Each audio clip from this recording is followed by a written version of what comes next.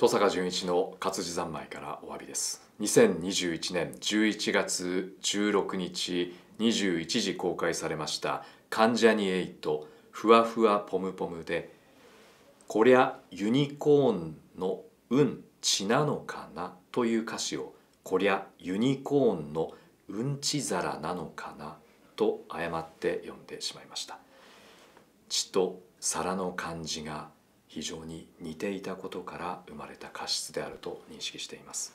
鍋だダメだこりゃユニコーンのうんち皿なのか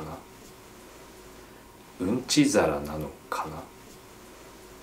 二度とうんちをうんち皿と読み間違えることのないよう努めてまいります。ご覧いただきました視聴者の皆様ご迷惑をおかけいたしました。大変申し訳ありませんでした引き続きよろしくお願いいたします。